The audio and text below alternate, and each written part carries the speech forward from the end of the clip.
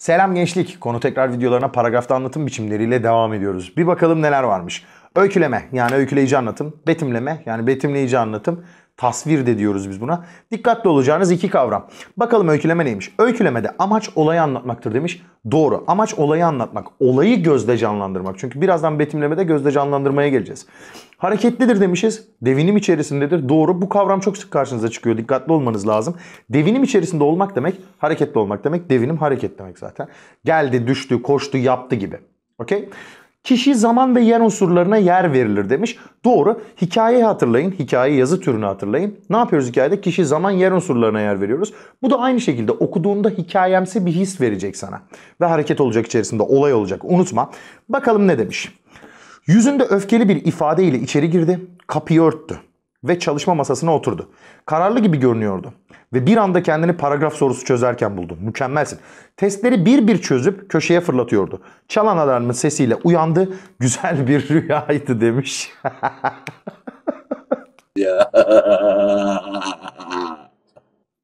Evet siz de aynen paragraf sorusu çözerken böyle oluyorsunuz gençler.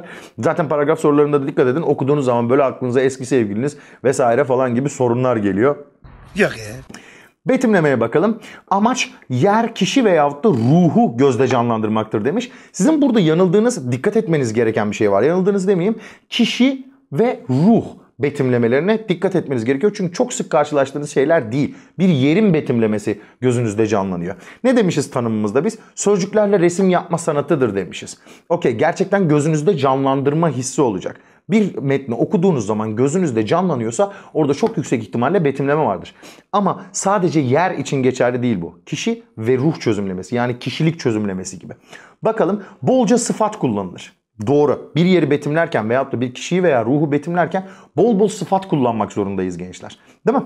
Bakalım örneğimize. İçerisi karanlık, puslu ve kasvetliydi.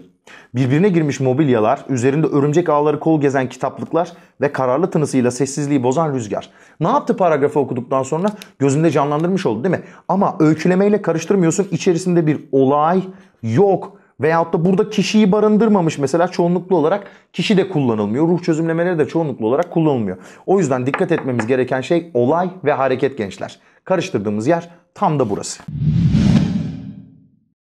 Evet arkadaşlar açıklama ve tartışmaya bakalım. Gençler bu kavramlarla alakalı da sıkıntı yaşıyorsunuz. Çünkü biz bizim gündelik hayatta kullandığımız dille normalde o dildeki kelimelerin anlamları bir değil. Sosyal dilde amacımız nedir? Birine derdimizi anlatmaktır veyahut da bir şey istediğimizde ona kısa yoldan ulaşmaktır. O yüzden kelimelerin anlamlarına çok dikkat etmiş olmuyoruz. Mesela sana durumu açıkladım ya kardeşim Burayı terk et.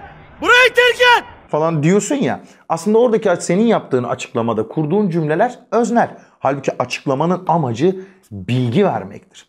Sen şimdi birisine bilgi verirken öznel bir ifade kullanır mısın? Yorum yapar mısın? Ha, yapmazsın. O zaman nesneldir diyeceğiz. Okey? Sade, açık ve anlaşılır bir dil kullanılır. Üslup kullanılır. Okey. Açıktan aklında kalsın. Açık. Dilin açık. Sen birisine bir şey öğretirken böyle sanatlı, süslü, ağdalı Türkçe kullanmazsın. Yani kelimelerin ikinci anlamlarını, mecazlarını yer vermezsin. Amacın bilgi vermektir. Dolayısıyla günümüz dilini kullanmış olman lazım. Makale, deneme gibi türlerde sıklıkla rastlanır. Evet, ders anlatımlarında da sıklıkla rastlanır buna. Doğru. Bakalım örneğimize. Öykülerinde Anadolu insanının çektiği zorlukları onların hayatlarından kesitlerle anlatan yazar aynı zamanda devlet memurudur. Kullandığı dil sade bir halk dilidir. Bütün bunları bana açıklamış. Yazarın eserinde neler anlattığını bana açıklamış. Bak açıklamış diyorum. Dikkat edin gündelik hayatta kullandığımız açıklamayla alakalı değil bana bilgi vermiş oldu. Okey? Siz de böyle baktığınızda size bilgi veren bir metin görüyorsanız orada açıklama var diyeceksiniz. Anlaştık? Tartışmaya bakalım. Şimdi tartışmada açıklamanın tam tersi. Yine gündelik hayatımızda kullandığımız tartışma ne bizim? Bir tartışma gör. Orada tartışıyorlar abi falan dediğin zaman ne geliyor aklına? Sen 3 3 milyar 750 milyon. Sen milyar. Bu değil tartışma dediğimiz şey. Şöyle düşünün. Gündelik hayatta yapılan tartışmaya benzese de tartışma anlatım biçimi arada şöyle bir farklılık var. Daha medeni olacak. Çünkü yazar ya oradaki adamlar. Biraz daha halktan bizden değiller yani. Okey? O yüzden tartışma paragraflarının tansiyonu birazcık düşüktür ama yine düşüncesini kabul ettirme, kendi düşüncesine inandırma, kendi düşüncesine inandırma hissi vardır. Amaç kendi düşüncesini kabul ettirmektir. Kesinlikle doğru. Özneldir. Evet kendi düşünceni kabul ettireceksin ki kendi düşüncen. Yani içerisinde ne olacak? Yorum olacak. Bir düşünceye karşı çıkma ve onu çürütme isteği vardır. Evet gündelik hayatta kullandığımız tartışmaya çok fazla benziyor. Ancak arasındaki fark tansiyonun birazcık daha düşük oluşu. Soru cümlelerinden faydalanabilir. Evet soru cümlelerinden faydalanabilir. Mesela örneğimizde var. Bir bakalım. Bu zamana kadar düz yazı türlerinden beklenen dili sanatlı ve ağır kullanma fikrini anlamıyorum. Bak yorum yaptım dikkat et.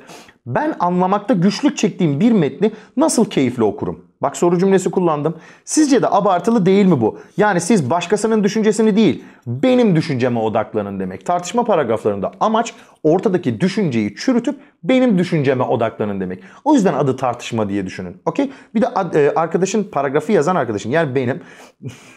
Ne kadar komik ya. Dili kullanımına dikkat edin. Dil normal gündelik hayatta kullandığımız tartışmadaki kadar sert değildir gençler. Bunlara çok dikkat ediyorsunuz. Bol bol soru çözüyorsunuz. Pekiştiriyorsunuz gençler. Arkadaşlar unutmuyorsunuz. Türkçe'de literatür bilgilerini edinmek soru çözmek için yeterli değildir. ÖSYM çok farklı soru soruş şekilleri kullanabilir. Dikkat edin soru tipleri, soru kökleri aynıdır.